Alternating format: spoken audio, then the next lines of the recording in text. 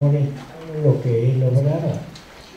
Darle mil gracias, mi adoración profunda, mi mezquina compañía. Ahora, mientras esto pensaba, mi adorable Jesús se ha movido en mi interior diciéndome, hija mía, mi voluntad está siempre en camino en las cosas creadas para ir hacia la criatura. Pero, ¿quién la completa? ¿Quién pone el último punto al trabajo de mi voluntad? La criatura.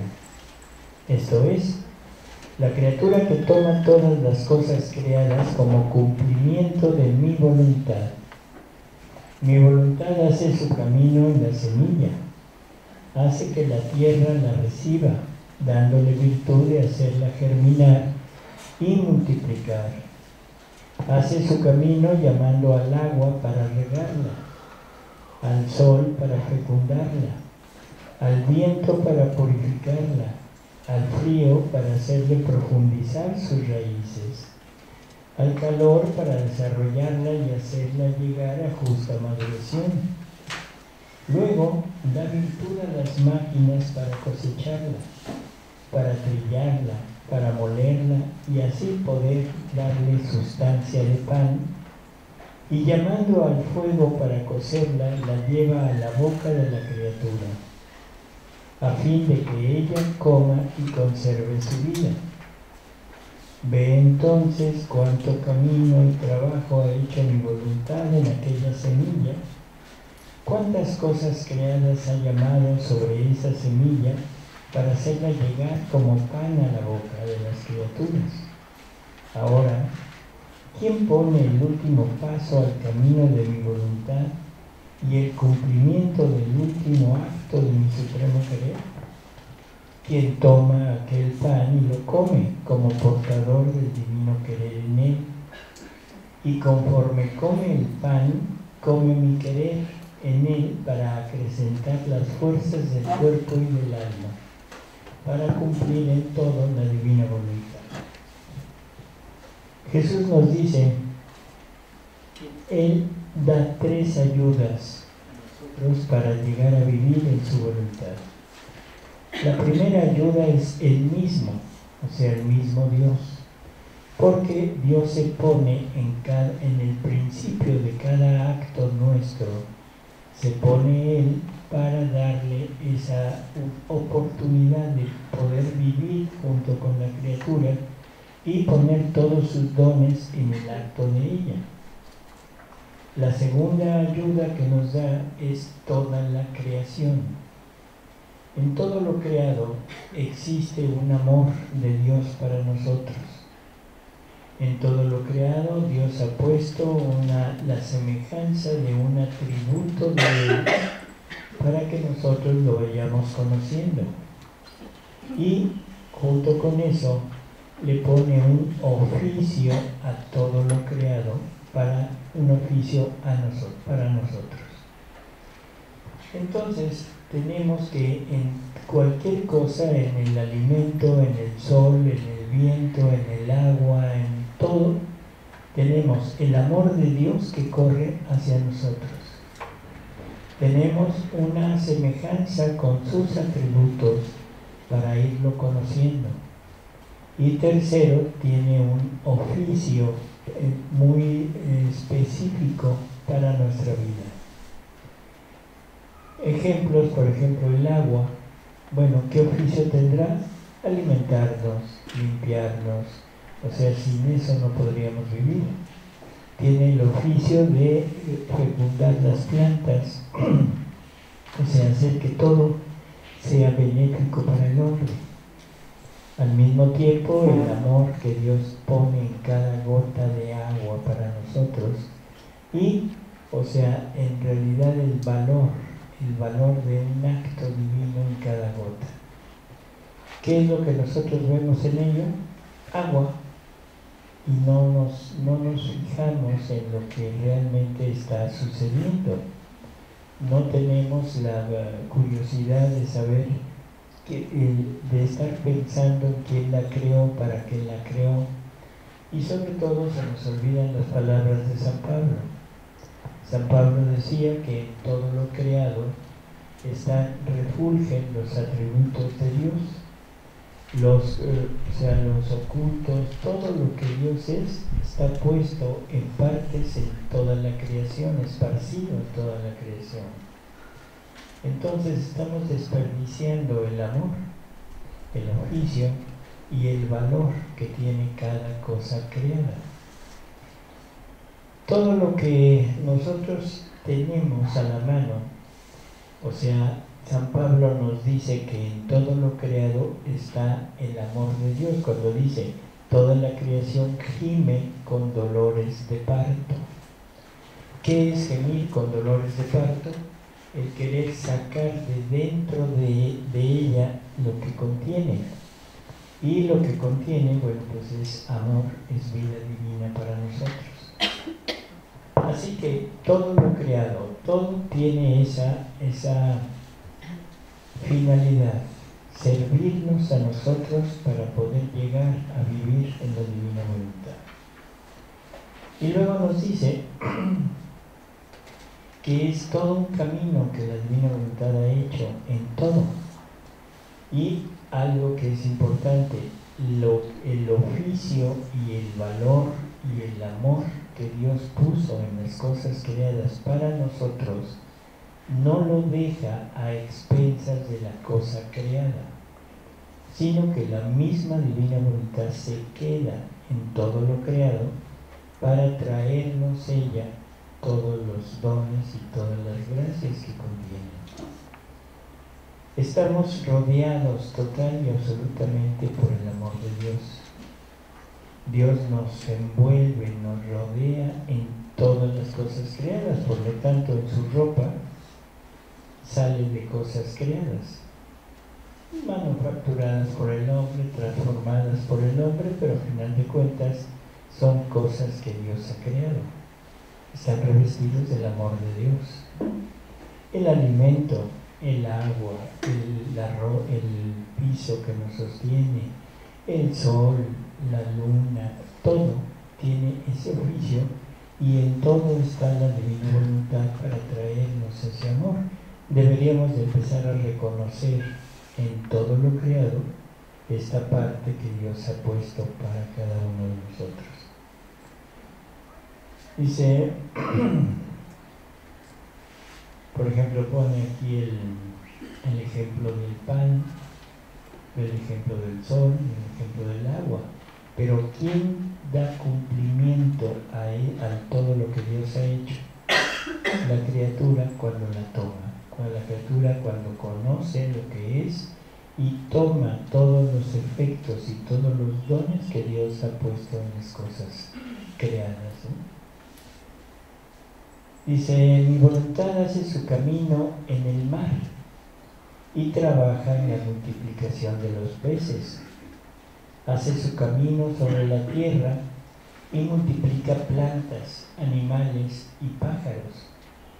Hace su camino en las esferas celestes para tener todo bajo sus ojos, para hacer que nada le huya y hacerse pies, manos y corazón para cada criatura, para dar a cada una el fruto de sus innumerables cosechas. Pero toda su fiesta es solo por quien toma de lo suyo como último punto y cumplimiento de su supremo querer. Si no fuera por mi voluntad, que en cuanto se desprendió su fiat, se dejó en camino en todas las cosas creadas para hacerlas llegar al hombre, a fin de que tuviese su primer puesto el fiat supremo, en quien y para quien todas las cosas habían sido creadas, y así fuera el regulador y el acto de la misma vida de la criatura. Todas las cosas quedarían paralizadas y como tantas pinturas en las cuales no está la vida de las cosas que representan. Así que, pobre criatura, si mi voluntad se retirase de hacer su camino en todas las cosas, todas quedarían como pinturas, sin producir el bien que cada cosa contiene hacia el hombre. Por eso puedo decir que no son las cosas creadas que nos sirven, sino mi voluntad velada, escondida, que se hace servidora del hombre. No es entonces justo y el más sagrado deber que el hombre mire en todas las cosas a mi suprema voluntad y la cumpla en todo e intercambiando su servicio sirva a aquella que no desdeña servirlo aún en las más pequeñas cosas. Y yo me siento como correspondido, pagado por mi trabajo, cuando veo que llegan al hombre y las toma como cumplimiento de mi voluntad. Y por eso hago fiesta, porque la finalidad de mi largo camino en las cosas creadas ha obtenido mi intento y el cumplimiento de mi voluntad realizado en la criatura. ¿Qué es lo que la divina voluntad hace? Corre en todo lo creado. Y es ella la que nos trae todos los dones que Dios ha puesto en todo. Por lo tanto, es la misma divina la misma divinidad la que está facilitando el camino, la que está facilitando esta vida en, ella. ¿Qué nos, qué nos eh. No, ¿qué no significaría esto? Que cada cosa creada sería como una reliquia. Una reliquia. ¿Por qué? ¿Por qué reliquia? El, sello ahí de, de, cada cosa creada. El sello. Está está el don que nos está dando, está el amor de Dios y está la divina voluntad que es la que nos quiere traer. Eso para ir empezando a entender que las cosas creadas deben significar algo más para nosotros y no nada más lo que vemos. Porque lo que vemos, bueno, pues es una planta, un árbol, una flor, un fruto, un animal, una hormiga, una cucaracha, en fin, mil cosas, pero no damos el valor que contiene. O sea, no estamos teniendo el valor, no estamos usufructuando el valor que, que tiene todo lo creado. No quiere decir que, nos, que adoptemos en nosotros todo, todo lo creado que la próxima hormiga que vean la levanten y la quieran como así, o la cucaracha, que le den su besito a la cucaracha. O sea, no se trata de eso. Pero por lo menos reconocer que ahí hay algo que Dios ha puesto para nosotros y sobre todo, sobre todo, necesitamos corresponderle a Dios a través del mismo canal Dios tiene un amor, pero un amor a la par de Él. Dios no quiere el amor de una criatura, quiere el amor del Creador a través de la criatura. O sea, no, no se satisface con un amor menor que lo de Él. Entonces, en todo lo creado, ¿qué pasaría si nosotros tenemos la divina voluntad de nosotros? ¿qué pasaría? ¿Cómo podríamos corresponderle a Dios en la creación? Tomando las cosas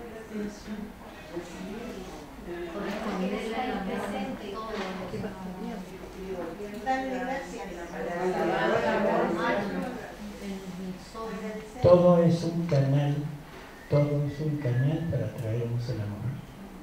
Ahora nosotros debemos corresponder a través del mismo canal. Dios creó el, ave, un, pájaro.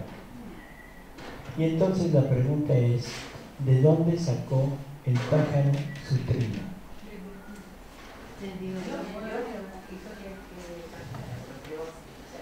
O sea, ¿y de dónde sacó Dios ese trino? ¿Se lo estuvo, se lo estuvo imaginando? No, no. Es un atributo de Dios.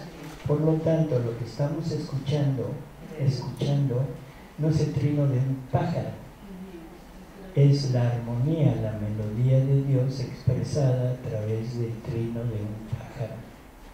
¿Y para quién estará cantando ese pájaro? Primero para Dios, primero para Dios. O sea, está alabando, está dando gracias por todo. No es el pájaro en sí, sino es la divina voluntad en el pájaro que está correspondiendo por todo lo que Dios ha hecho a través de ella. Y ahora también para nosotros, para traernos la armonía y el, canto de, de Dios. Ahora, ¿cómo podemos corresponder? Si Dios me está dando todo lo suyo, me está dando también la virtud creadora, porque la virtud creadora está en la divina voluntad. Y con la virtud creadora el ser humano puede ponerse junto con Dios creando lo que Él crea. Por lo tanto, ahora en el momento que Él crea el trino del pájaro, que Él pone su trino en el trino del pájaro para decirme te amo, ahora yo pongo mi trino que no es el canto de nosotros, sino ese trino ahora yo lo estoy sacando de mí para alabar a Dios y para amarlo a Él y a toda la familia humana. Suena así como historieta de, de, ciencia ficción, ¿no? Pero es la correspondencia que Él desea. Dios quiere un amor igual al de Él entonces la pregunta es, ¿de qué manera podemos amar a Dios igual que Él? Si Él me ama en las cosas creadas, si yo no lo amara a través de las cosas creadas, mi amor ya no sería igual al de Él.